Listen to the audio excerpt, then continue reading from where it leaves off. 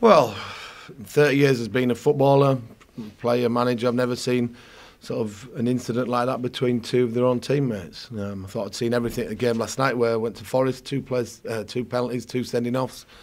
But today it's been an embarrassment them players. Um, I think it's come from an incident where one of the two have, have we've, we've broken um, there was a disagreement about who should have played the pass or so was it the right pass to to play Marnikin and then absolute childish behaviour from the pair of them has, has cost us ultimately a point potentially out of this game, maybe three points. Because at, um, at 2 1 11 against 10, it looked like we we're going to get something out of the game.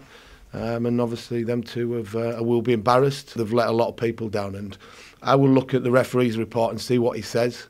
Um, and if, it's, if there's anything that we think that could um, help along with an appeal, and we will look into it.